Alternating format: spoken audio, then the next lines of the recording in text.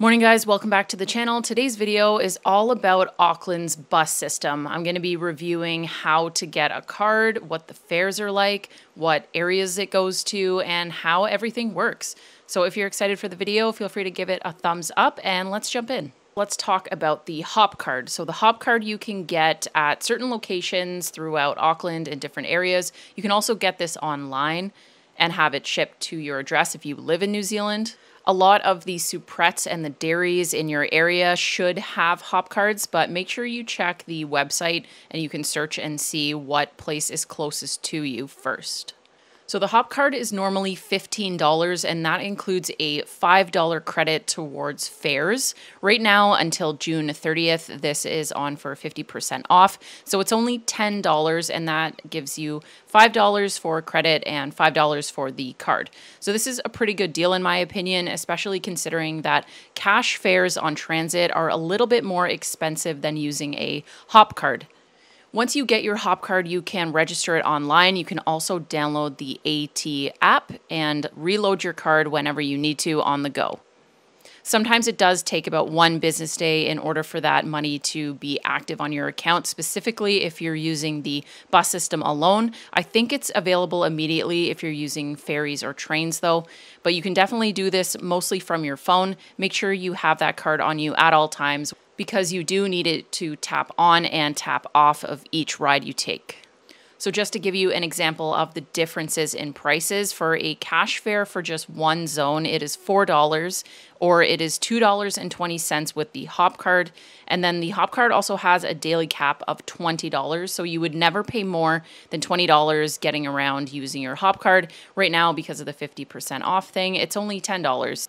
A monthly pass for the transit system is $215. This does seem like quite a bit, but like I said, because it is half off until June 30th, the monthly pass is only $107.50.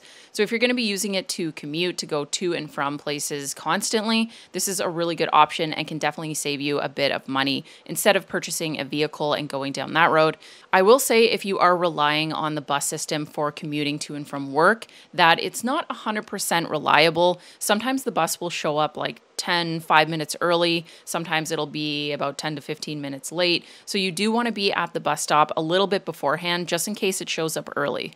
Another thing to note if you're coming to New Zealand from out of the country is that you do have to signal the bus driver. If you don't like wave your hand at the bus driver as he's coming towards you, he's not going to stop for you unless someone has pressed the button on the bus and is getting off. So you want to be paying attention at the bus stop. Like don't be looking at your phone the whole time.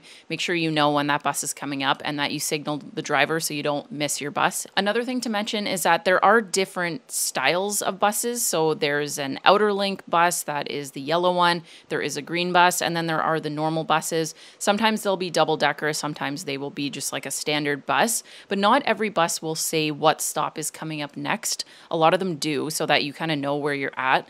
But the ones that don't, what I like to do is have my phone out and be on Google Maps and checking and seeing where the bus is so that I don't miss the stop. It is kind of hard sometimes to see like out of the window and know exactly where you are, especially if you're new to the city and you don't really the bus route yet. For using the hop card, you do have to swipe it when you get onto the bus, wait until it beeps, and then when you get off the bus, make sure you tap it off. That will give you the fare for the area that you were in, depending on like what zones you were in and in between.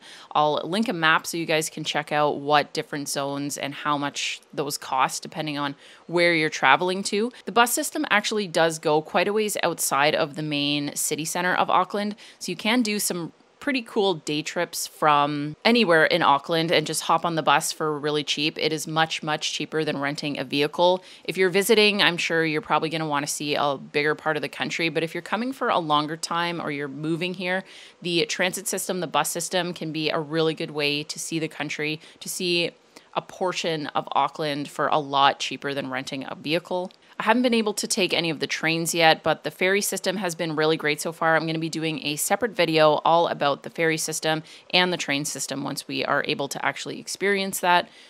But I hope this video helped you guys out in planning your stay or your move to Auckland and that this saves you a bit of money in getting around the area. Thank you so much for watching. We'll see you in the next one. Bye.